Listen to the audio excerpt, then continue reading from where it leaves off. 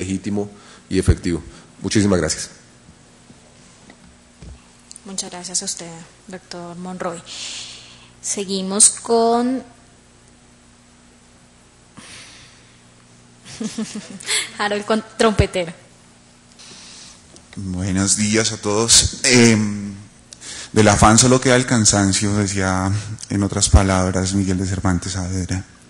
Y creo que acá hay mucho afán en hacer pasar una ley que creo que puede llegar a ser una soga que nos ahogue a todos en un momento dado.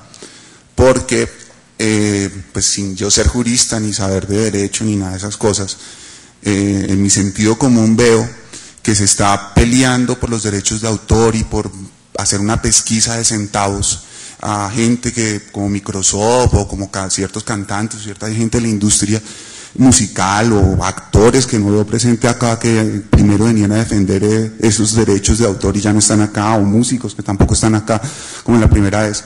Y se puede convertir en una daga que nos atente a todos contra la libertad de expresión, totalmente, y, totalmente de acuerdo en contra suyo cuando dice que eh, mediar el señor que le presta a uno el servicio del uso de agua es lo mismo que mediar frente al derecho a expresión.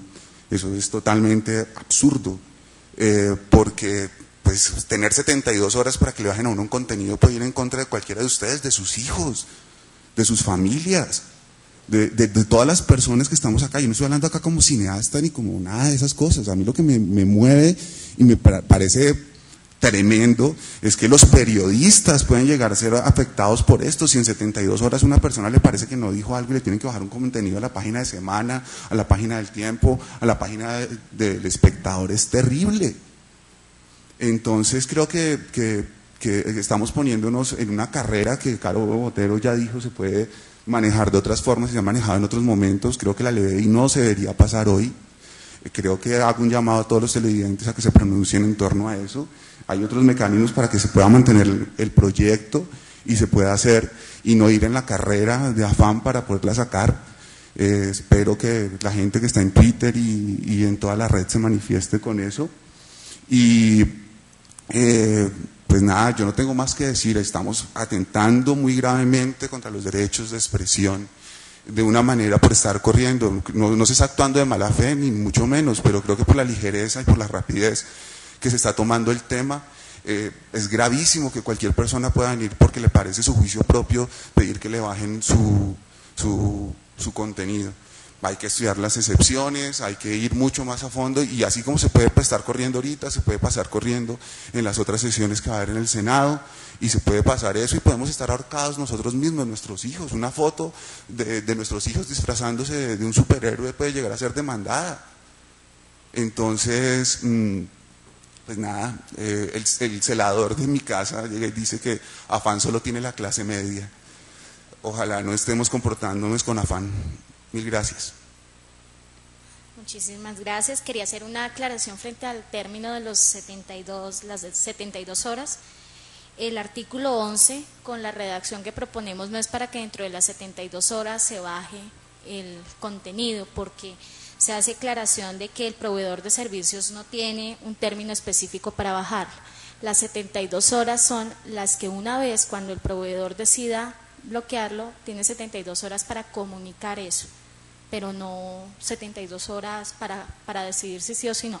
Eh, sí, a eso me refiero a las cosas que no están como claras y que vamos como muy rápido. O sea, no se hace claridad en las excepciones, no se hace claridad, por ejemplo, en el, en el inciso octavo, que me parece que está muy bien logrado, debo aplaudirlo sin conocer bien, sino decir, bueno, se castiga a la gente que comercialice, pero no se especifica en muchísimos casos ahí qué significa comercializar, por ejemplo. Hay, hay muchísimas cosas que están tomándose a la ligera y que vamos muy rápido. Yo creo que no debería radicarse la ley hoy. Ok, muchas gracias. Seguimos con Carlos Andrés Corredor. ¿No está? Ok. Astrid Escalona de la Fundación Escalona, ¿se encuentra? ¿Tampoco?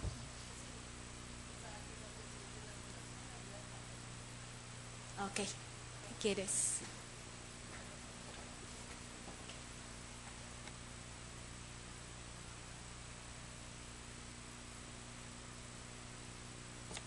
Buenos días, para mí es muy satisfactorio estar hoy aquí presente. Em, el maestro Rafael Escalona, antes de partir para su casa en el cielo, como siempre lo he dicho, lo que más le preocupó fue todo lo que tiene que ver con los derechos de autor.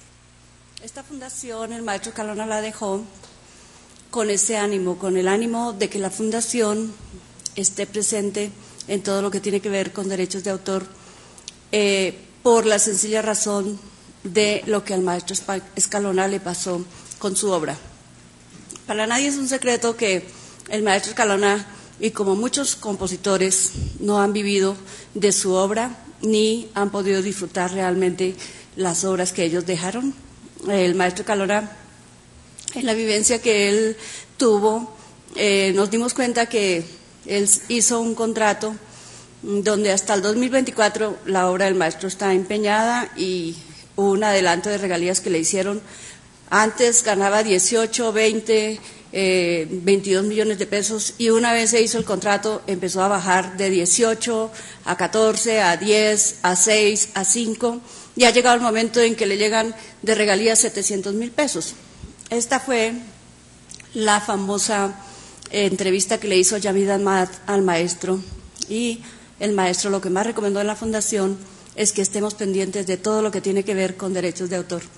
Mm, uno mira internet y ve que todas las canciones del maestro Escalona están, eh, que todo lo que aparece con Rafael Escalona se encuentra, y al averiguar qué pasa con las regalías, si eh, por alimentar internet le pagan algún derecho a los compositores y resulta que hasta el momento dicen que no, que todo lo suben gratis.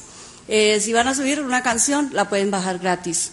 Entonces, uno se pregunta, eh, si yo no cancelo Internet y trabajo en la fundación con el Internet, porque es de la única manera que yo trabajo, comunicándome con toda la gente, si yo no puedo pagarla porque no me llegó lo de las regalías, porque no me paga ni música, porque todavía estamos hasta el 2024 sin que nos llegue todavía las regalías, pues simplemente no tengo el servicio.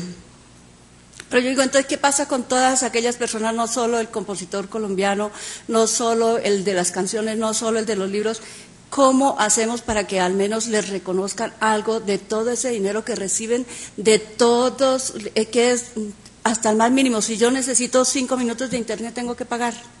Pero hay todos aquellos que se alimentan de todas aquellas obras que se alimentan, ¿qué les corresponde a esas obras? Yo desafortunadamente llegué tarde y no me enteré de todo lo que han hablado acá. Estaba fuera del país y llegué también hasta hace poco. La fundación y mis hijas organizaron también un foro donde se habló sobre todo el tema y estuvimos con el director de derechos de autor. Siempre mi pregunta es, y siempre lo que me he preguntado simplemente como directora de la fundación y el apoyo que le quiero dar a todos, no solo a los compositores, sino a toda la gente que debe unirse. Yo hoy pienso que cuando se hace eh, un debate como este, los primeros que deben de estar es una totola mamposina, como estuvo en nuestro debate, que deben de estar todos los compositores, que deben de estar todos los cantantes, todas aquellas personas que saben lo que les está pasando, porque qué bonito es que esté sentado aquí todo al que le tiene todo fácil, que le llega todo fácil, sino que también cada compositor, cada eh, persona que está vinculada para que le lleguen sus regalías, porque eso es una manera de trabajar, es el compositor de qué vive. Si al compositor no le llegan sus regalías, ¿de qué va a vivir? Nosotros, desafortunadamente, no vivimos de la composición de las obras del maestro Escalona, Vivíamos de dictar conferencias a nivel internacional, vivíamos de la obra literaria vendiéndola nosotros personalmente porque ni siquiera se la dimos a una editora y pudimos vivir con eso con el maestro Escalona. Pero me preocupa ver a un Moralitos, me preocupa ver a tantos compositores que tienen la obra maravillosas y que nos dan alegría a nosotros para vivir, que es la muestra de todos los colombianos cuando vamos a otro país ir a Estados Unidos, ir a Miami, pasar por Guatemala, pasar por todo eso y oír las canciones de todos nuestros compositores colombianos para nosotros es una gran alegría. Eh, como no he tenido así mucho apoyo, yo lo que hago es que últimamente cojo una cantidad de CDs